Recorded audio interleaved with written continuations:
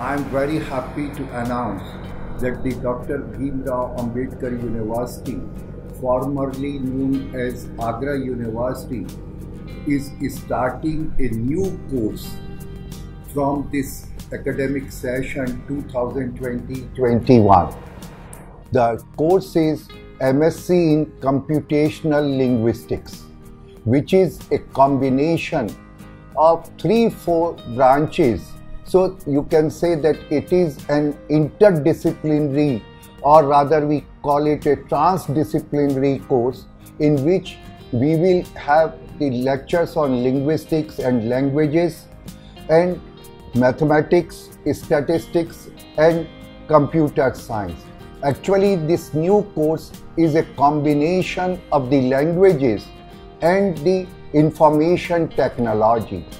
Basically in this course, the students will be taught on how to use the information technology for various segments of languages because languages are not only concerned how we speak one language.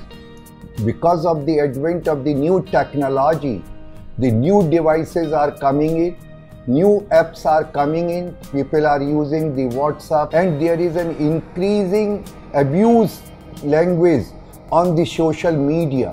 So this will teach you how to deduct those abusive languages, how to refine our language, how we can improve. So this is the need of the day.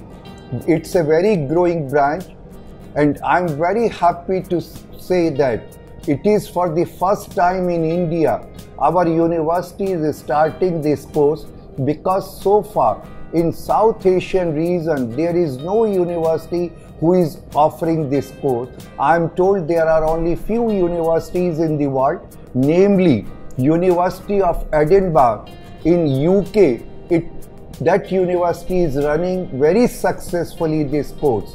I am having a good faculty in our linguistics department, in other allied departments also.